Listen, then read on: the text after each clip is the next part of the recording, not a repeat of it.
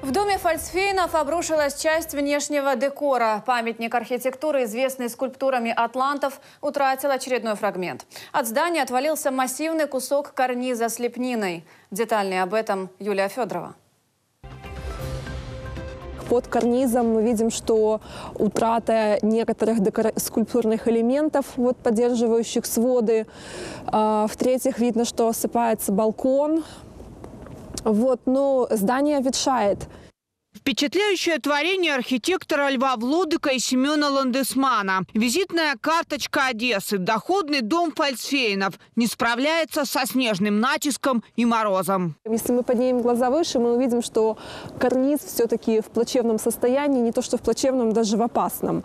Основной причиной разрушения дома с атлантами специалисты считают его неправильную эксплуатацию. Здесь нарушена вся система водоотведения. Во время дождей и таяния снега вода проникает в здание. Это и приводит к деформации. Последний капитальный ремонт здесь делали в 70-х годах прошлого века.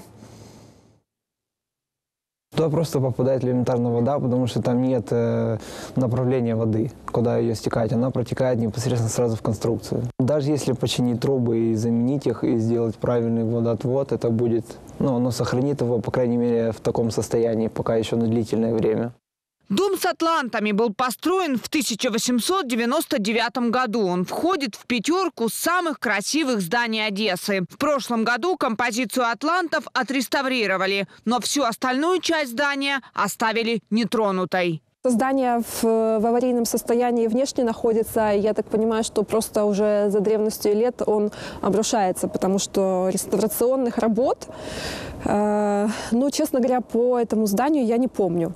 Это один из самых популярных туристических объектов в Одессе. Здесь проходят сотни туристов. Сегодня аварийное здание даже не ограждено предупредительными лентами. Ходить под ним небезопасно. Я ну, общался с архитекторами, которые приезжали с Европы, они вообще смотрят на Одессу и удивляются. То есть такое ощущение, что у нас там какой-то определенный э, промежуток времени вообще отсутствовали люди в городе, и они ну, довели до такого состояния.